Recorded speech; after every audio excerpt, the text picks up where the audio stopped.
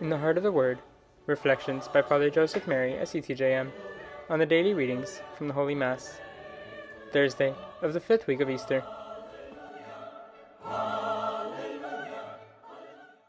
God bless you, dear family. Today, in the Heart of the Word, Jesus continues to speak to us in John chapter 15 about his love, about remaining in him. He is the vine, and we are the branches. He tells us, As the Father loves me, so I also love you. Remain in my love. Why does he want us to know his love, which is total, infinite, faithful, unconditional, merciful? He explains, I have told you this so that my joy might be in you and your joy might be complete.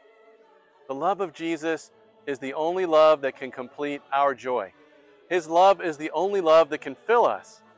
Every day we need to return to Him, to His love.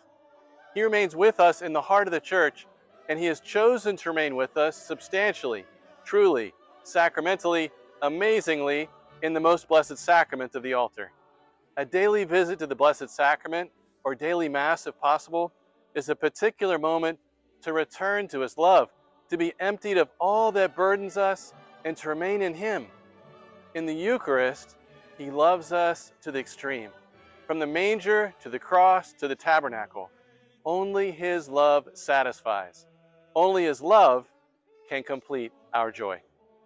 Let us listen to these words of Mother Adela.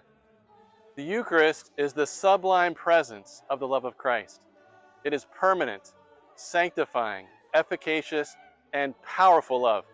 St. Manuel Gonzalez, the bishop of the Eucharist, would say, the tabernacle is the most powerful place in the world because God is there, and there He gives us His love. All for the heart of Jesus, through the heart of Mary. Alleluia.